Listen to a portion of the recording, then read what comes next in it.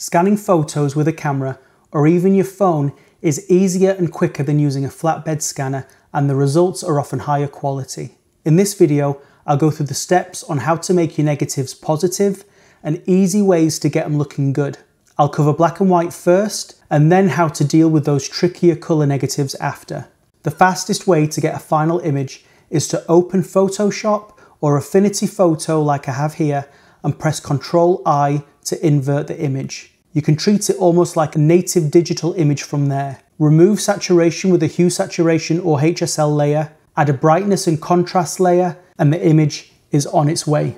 But there's a problem. A roll of film has up to 36 images on it, and if you're doing a few rolls at once, you'll need a faster way to batch process these files. For batch editing, I use Lightroom, though Capture One would do the job too. Here's the catch, there's no invert function in Lightroom but there is a workaround in the curves. Curves match the input data on the x-axis and the output data on the y-axis. By default, dark in results in dark out, bright in results in bright out. So move the left-hand node up so that dark in now becomes bright out. Then use the right node to make the bright in dark out. The image is inverted. Because of this inversion, your brightness, highlights, shadows, blacks and white sliders will all work in reverse. So move your brightness slider up to darken the image or down to brighten it. This gives us a base exposure for the rest of the treatments. Reduce the saturation to zero for black and white photographs. If you want to add a sepia tone, you can do that by leaving a small amount of saturation and adjusting the colour temperature. I crop to leave the film borders on, not because it looks cool, but it does look cool but because it shows me the film type and the frame number for when I need to find that negative in the future. Because I scan the frames in the same location every time, I can select a number of images and use auto sync with the crop tool and do them all at once. Don't forget to turn sync off again afterwards. The frame of the image is an absolute black point because it's a completely unexposed part of the film. So remember we'll have to use the white slider to make the blacks black. An alternative to get the same job done is the tone curves because you can make the adjustment with a histogram overlay for reference. Shortcut key J will make anything pure black show up as blue so you can see the adjustment in real time. If it's not enough, you can use the right hand node in the curves panel to clip the blacks further. Though this is an absolute black point, you should make these adjustments to taste and to honour the image. Same process for the white point, just move the slider until you see red and adjust to taste. When you're happy, press J to remove the clipping colours. Zoom in to 2 to 1 and look at the grain. Grain will be more prevalent in some films, like Tri-X and HP5, and smaller formats like 35mm and half frame.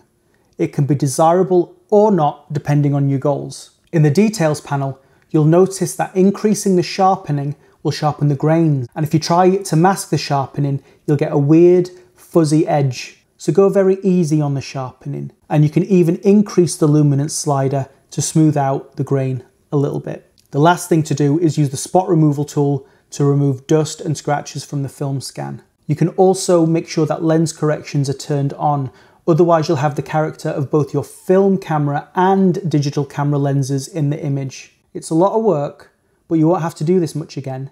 In the presets panel on the left, click the plus icon, click check all, then save it as something like black and white negative.